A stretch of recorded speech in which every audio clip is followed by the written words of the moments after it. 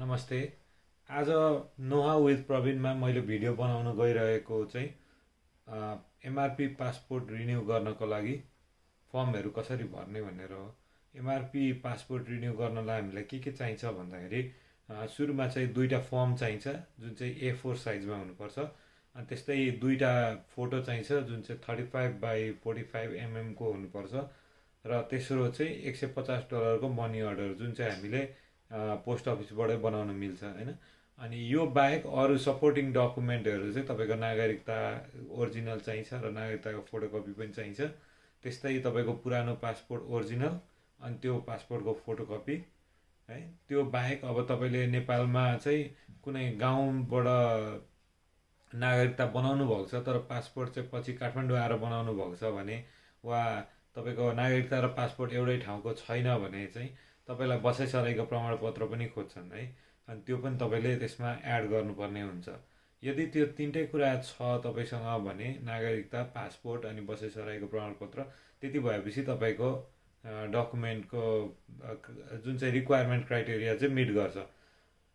अब हामी त्यो फर्म कसरी भर्ने र त्यो फोटो कसरी बनाउने भन्ने बारेमा चाहिँ यो भिडियो मैले बनाइरहेको छु होइन? मैले चाहिँ मेरो मम्मीको पासपोर्ट भर्खरै रिन्यू गर्नको लागि पठाएको छु।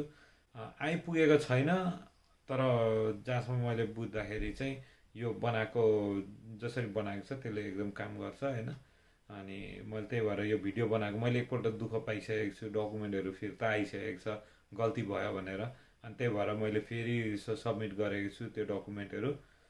अमेरिकामा चाहिँ पासपोर्ट यो पासपोर्टको फर्म भर्नको लागि हामीले युज गर्ने पेपर जुन चाहिँ लेटर साइज पेपर हुन्छ यहाँनिर पाउने त्यसले काम गर्दैन। हामीलाई एफओ पेपरै चाहिन्छ। है यदि तपाईँसँग एफओ पेपर छ भनेदेखि ठिक छ छैन भनेदेखि तपाईँले एमाजोनबाट किन्न पनि सक्नुहुन्छ वा अरू कुनै स्टोरमा त्यस्तो पाइहाल्यो भने तपाईँले त्यहाँबाट पनि ल्याउनु सक्नुहुन्छ। कतिजनाले चाहिँ ए थ्री पेपर चाहिँ अलिकति धेरै पाउने भएको कारणले ए थ्री पेपरलाई काटेर एफओ पनि बनाउन मिल्छ त्यसलाई हाफ गरेर। प्रथम स्टेप भनेको फोटो कसरी बनाउने? है। फोटो बनाउनलाई तपाईँको प्ले स्टोरमा जानुहोस् एन्ड्रोइड फोनमा अनि त्यहाँ गएर पासपोर्ट फोटो भनेर टाइप गर्नुहोस्। तपाईँलाई त्यहाँ थुप्रो एपहरू देखाउँछ। त्यो फोर्थमा भएको एप छ नि पासपोर्ट साइज फोटो मेकर भन्ने हो त्यसमा क्लिक गर्नुहोस्। अनि यसलाई इन्स्टल गर्नुहोस्। मैले इन्स्टल गरिसकेको भएर त्यहाँ ओपन भनेर आयो नभए तपाईँकोमा इन्स्टल भनेर आउँछ। है। अनि यसलाई ओपन गर्नुहोस्। त्यसपछि यस्तो खुल्छ। अब यसमा चाहिँ तपाईँले यो फोटो सेलेक्ट गर्नु गर्दा हुन्छ होइन? अनि फोटो सेलेक्ट गरिसकेपछि चाहिँ यसको यस्तो खालको डिस्प्ले आउँछ यसको। अनि त्यहाँनिर ठ्याक्कसँगले त्यो मान जुन चाहिँ इमेज बनाइदिएको छ त्यसमा सेलेक्ट गरेर आफू आफूलाई त्यो फ्रेमभित्र पारेर अलमोस्ट सेम। पछि एलाइनमेन्टहरू मिलाउनु मिल्छ। सो त्यसमा गरेर क्यामेरामा हेरेर अनि फोटो खिच्नुहोस्।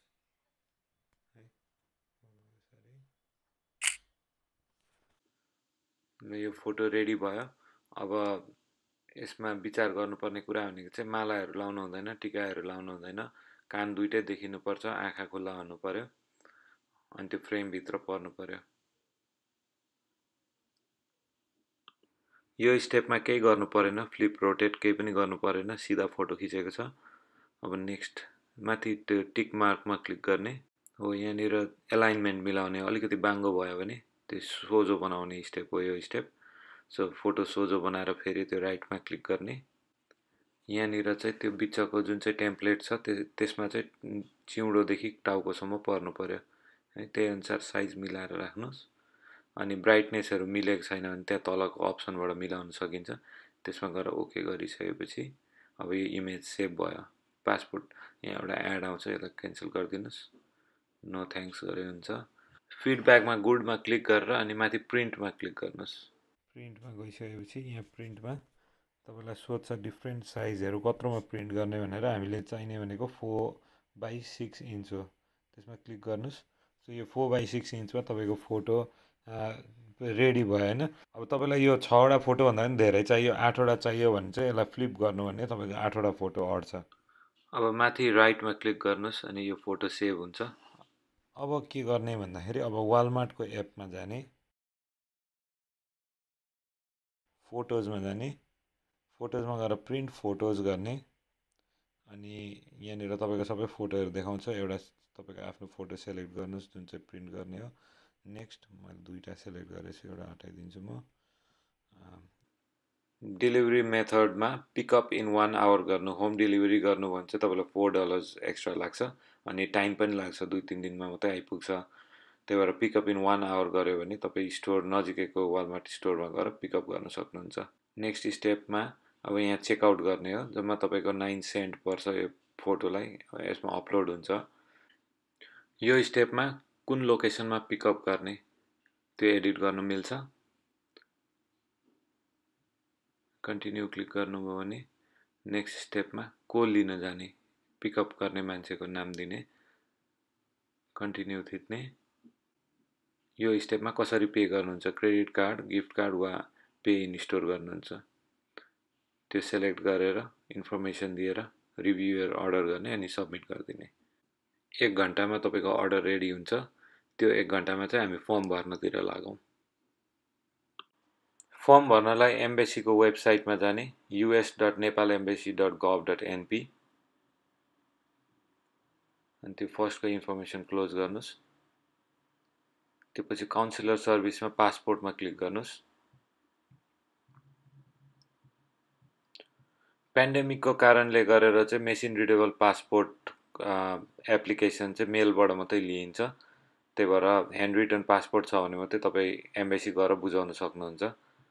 अब अहिले हामीले एमआरपी पासपोर्टको लागि यो गरिरहेछौँ रिन्युअल त्यसको लागि स्टेप वान हामी इग्नोर गर्ने किनभने त्यो ह्यान्ड रिटर्न पासपोर्टको लागि मात्रै हो। र स्टेप टूमा जाने। स्टेप टूमा एप्लिकेसन फर्म हियर भनेको ठाउँमा गएर क्लिक गर्नुहोस्। पासपोर्टको एप्लिकेसन फर्म खुल्छ।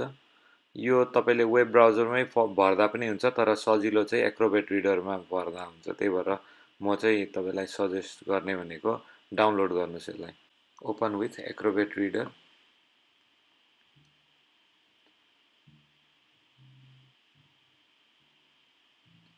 अब यसमा भर्नुहोस्।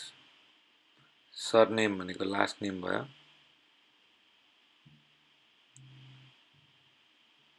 त्यस्तै गिभन नेम तपाईँको first name place of birth जन्मस्थान नेसनलिटीमा नेपाली राख्नुहोस्। डेट अफ बर्थ यो चाहिँ एडीमा इस्वी सम्मतमा दिनुपर्छ। यो फर्मेटमा मिल्दैन त्यही भएर सुरुमा इयर इयर अनि मन्थ अनि डेट राख्ने। हामीले यहाँ युएसमा युज गर्ने फर्मेट चाहिँ हुँदैन यसमा। त्यही भएर सुरुमा चारवटा इयरको डिजिटहरू राख्ने त्यो पछि मन्थको त्यो पछि डेको त्यस्तै तपाईँको जन्म मिति नेपाली विक्रम सम्मतमा कति हुन्छ त्यो पनि त्यहाँ नेक्स्टमा राख्ने सुरुमा वर्ष राख्ने अनि महिना राख्ने अनि दिन राख्ने।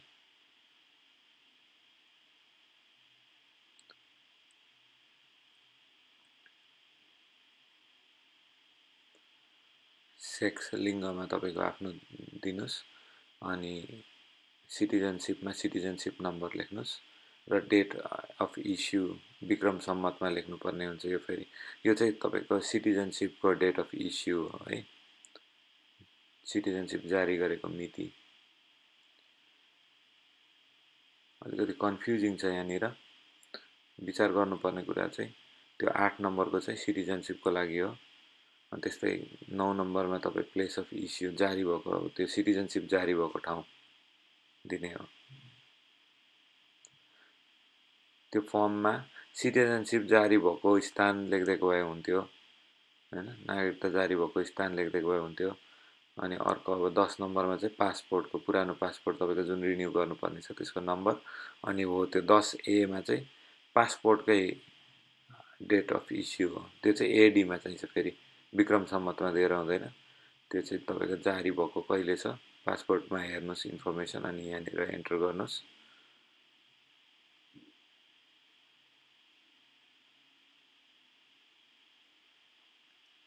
Place of issue passport issue भएको ठाउँ।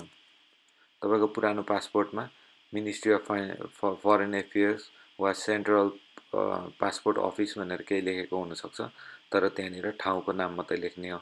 जस्तै काठमाडौँको अफिसमा भएको भने काठमाडौँ भनेर मात्रै लेख्दा हुन्छ। डिस्ट्रिक्ट तपाईँको स्थायी ठेगाना भयो यो। नेपालको ठेगाना लेख्नु पऱ्यो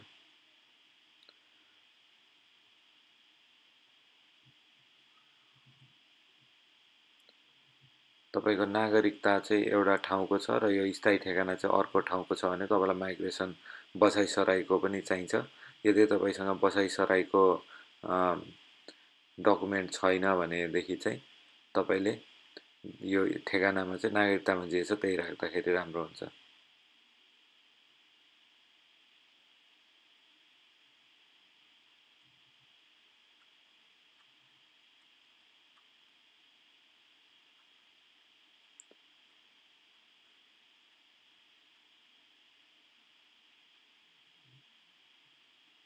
फोन नम्बर र इमेल एड्रेस चाहिँ अहिलेको तत्कालको दिनु पऱ्यो फोन नम्बर पनि नेपालको दिँदा हुँदैन युएसकै दिनुपर्छ।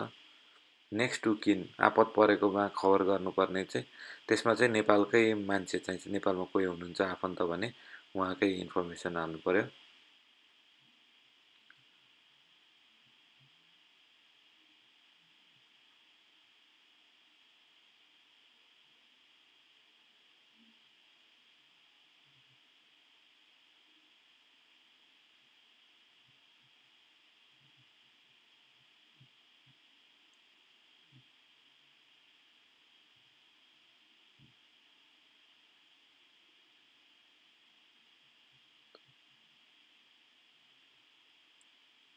र फोन नम्बर पनि उहाँकै दिनु पऱ्यो नेपालकै फोन नम्बर चाहिन्छ।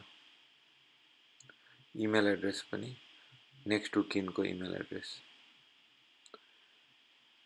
यो फर्ममा भर्नुपर्ने जम्मा यति नै हो। मिति भनेर छ त्यहाँ तल त्यो तपाईँले त्यहाँ फिलअप गर्नलाई अट्दैन होइन? त्यही भएर पछि हातैले लेख्दाखेरि हुन्छ त्यो मिति चाहिँ।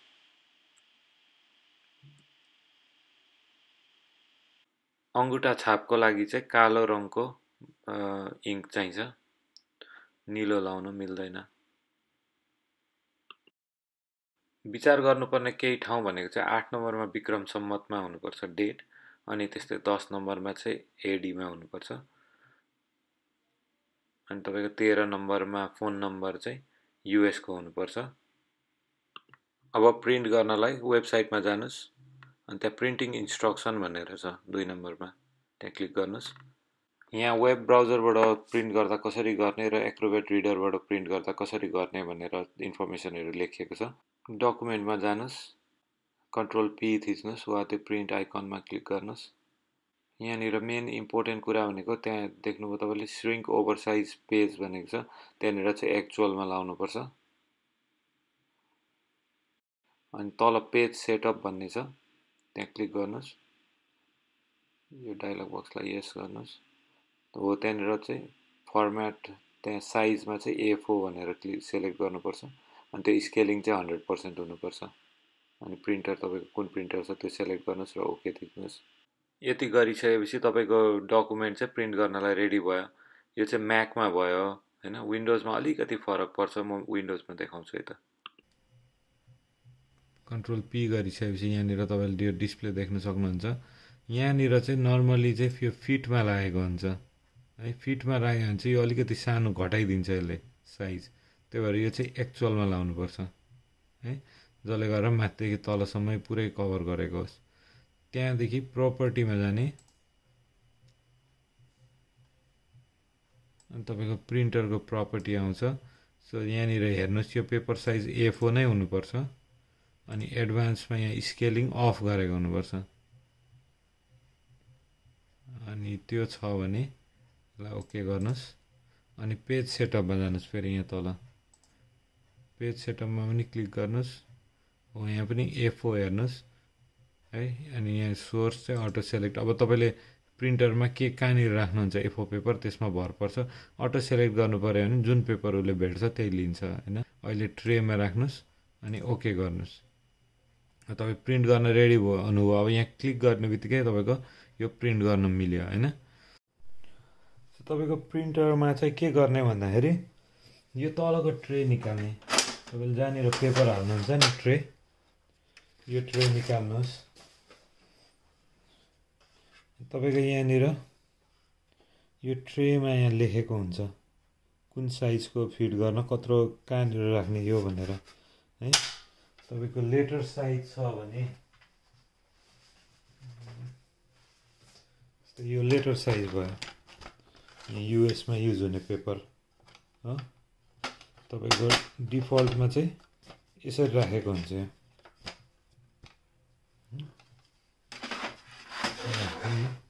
यसरी राखेको हुन्छ।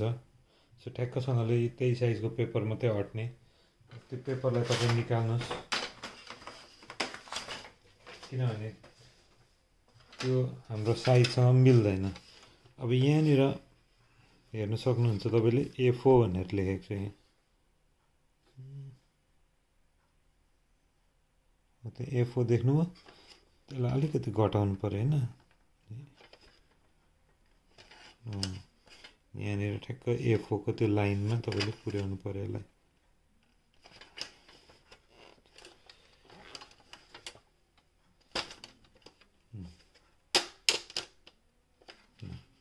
एफओको लाइनमा अब यहाँनिर एफओ कहाँ छ भन्दाखेरि यहाँ एफओ लेखेको छ नि एफओको लागि चाहिँ त्यो पुरै माथि नै गर्नुपर्छ हामीले यसलाई टुप्पामै पुर्याउनुपर्छ है यहाँनिर लेखेको छ यहाँ कुनामा एफओ भनेर त्यसको लागि चाहिँ पुरै टुप्पामा यो योभन्दा माथि जाँदैन अब यहाँ मात्रै हाम्रो एफओ पेपर अट्छ है ठ्याक्कै एफओ पेपरको साइज यहाँनिर अट्यो होइन अब यसलाई फिट गराउनुहोस् र अघिकोमा गएर प्रिन्ट गर्नुहोस्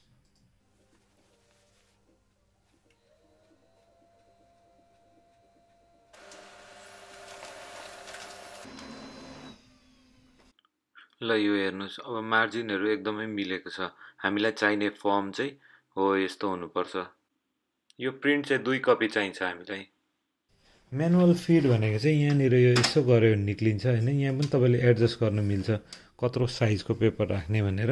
अनि यहाँ एफओ भनेर लेखेको पनि छ त्यो साइज तर यहाँनिर तपाईँले पेपर यसरी छिराइसकेपछि के हुन्छ भन्दाखेरि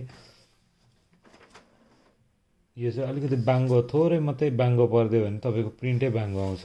त्यही भएर यो रिक्स चाहिँ नलिनु होला अब तपाईँको यतिमै फर्म भरेर सकिँदैन होइन? तपाईँले यहाँनिर अङ्गुठा छाप पनि लाउनुपर्छ। देब्रेको दाहिनेतिर दाहिनेको देब्रेतिर बनाएर लाउनु पर्ने हुन्छ। त्यो पछि यहाँनिर गएर तपाईँले सही गर्नुपर्ने हुन्छ यो ठाउँमा अनि यहाँ मिति लेख्नुपर्ने हुन्छ। यहाँ तल नेम सिग्नेचरहरू यो तपाईँले गर्ने होइन यो चाहिँ एम्बेसीले गर्ने हो। भेरिफाइङ अफिसर भनेको छ नि। यहाँनिर चाहिँ उनीहरूको हुन्छ है। हामीले भर्नुपर्ने काम भनेको यो प्रिन्ट गरिसकेपछि चाहिँ अङ्गुठा छाप लाउने र यो अनि यो जहिले पनि भर्दाखेरि वा अङ्गुठा छाप लाउँदा चाहिँ कालो रङले मात्रै गर्नु होला निलो रङले गऱ्यो भने पनि रिजेक्ट हुन्छ। यो माथि टुप्पामा चाहिँ मिनिस्ट्री अफ फरेन अफेयर्सको तलतिर चाहिँ embassy of Nepal Washington DC भनेर लेख्नुपर्छ हातले।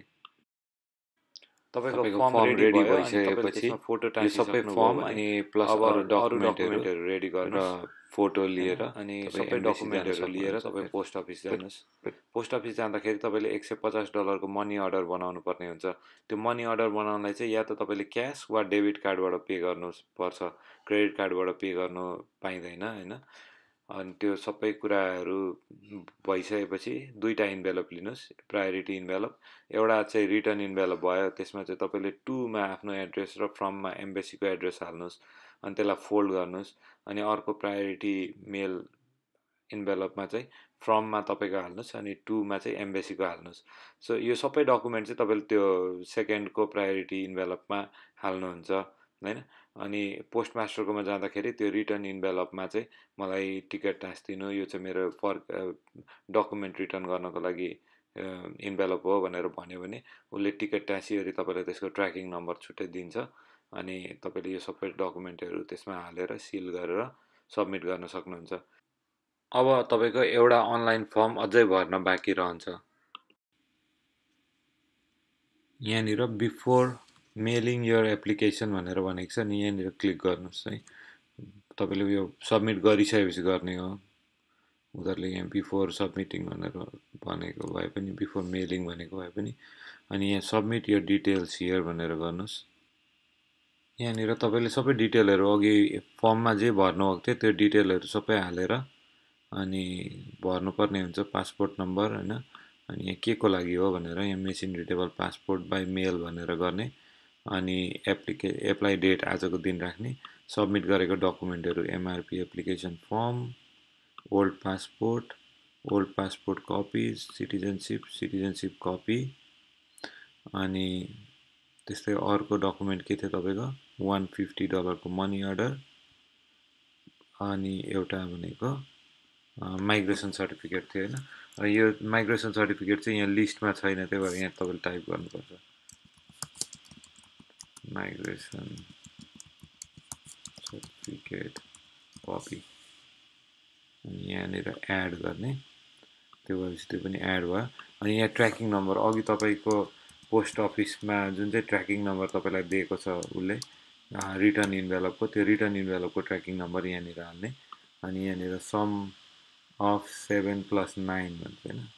यो चाहिँ यो क्वेसन चाहिँ तपाईँ मान्छे हो कि होइन भनेर चेक गर्नलाई मात्रै राखेको त्यो पछि आई हियर बाई सर्टिफाई गर्ने अनि सब्मिट डिटेल गरिदिने।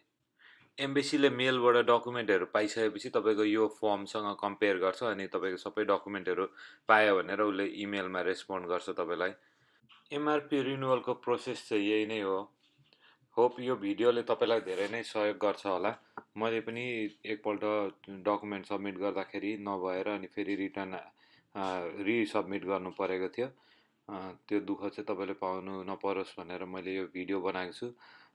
मन पऱ्यो भने लाइक गर्नुहोला भिडियो र केही कमेन्टहरू छ भने लेख्नुहोला। धन्यवाद।